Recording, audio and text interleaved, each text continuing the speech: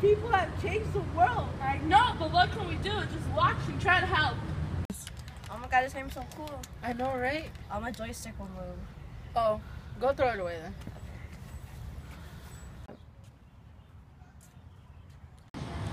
Oh my god, it's really hot here. I really want a cup of water. Me too. Hey, look, over there. Nobody can go back to what they have done, but they truly could go forward and do it much, much better. If we don't save the world, the trees will be gone. Try to save the world. Even though it doesn't affect you, it could affect somebody else. Ways to do it is by turning off lights when you don't use them or don't need them at all. and unplug unnecessarily chargers or electronics and droid fun outside. Because remember, if it doesn't affect you, it affects somebody else.